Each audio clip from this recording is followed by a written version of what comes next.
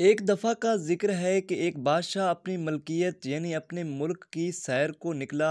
वो अपनी रियाया की खबर लेना चाहता था। दौरे के दौरान उसकी नज़र एक मलंग पर पड़ी, जो रास्ते में बैठा था और एक दरी और एक पिर्च के अलावा उसके पास कुछ भी ना था। बादशाह ने मज़ीद नोट किया कि इस पिर्च में भी सिर्फ़ चंद छोले पड़े थे, पर वो मलंग मुस्करा रहा था।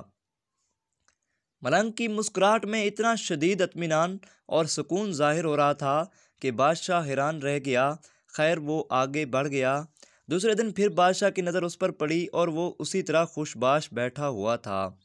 बादशाह की पालकी फिर भी आगे बढ़ गई।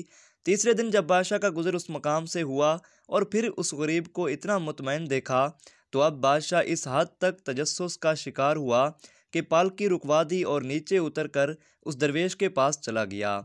उसे बताया कि मैं मुल्क का बादशाह हूँ और तीन दिन से तेरी इस मुस्कुराहट और मुफलसी का यकजा होना मुझे हरगिज़ हज़म नहीं हो रहा। आखिर ऐसा क्या है तुम्हारे पास जो तुम्हें खुशी देता है?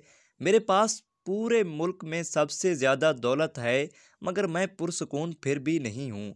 क्या तुम्हारे पास कोई पोशीदा दौलत है? लेकिन दरवेश ने नफ़ी में सर हिलाया।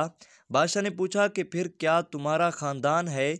या घर वाले जो तुमसे नहायत रुगबत रखते हैं। दरवेश बोला, जी नहीं, मैं बिल्कुल तने तनहा हूँ, मेरा कोई भी नहीं है। मेरे पास इन छोलों के सिवा खाने को भी कुछ और नहीं। बादशाह फिर भी बहुत हैरान हुआ और आखिर सवाल किया कि क्या, फिर क्या तुम्हें अल्लाह ने काबिल फ़ख्र सेहत से नवाजा है जो तुम इतने खुश रहते हो? मलंग बोला हाँ हाँ हारगेज़ नहीं, मेरे आधे दांत टूट कर गिर चुके हैं और ठंड से मेरी हड्डियाँ भी दर्द करती हैं। बादशाह ने पूछा कि, ओ भाई साहब, फिर क्यों सुकून से बैठे हुए हो?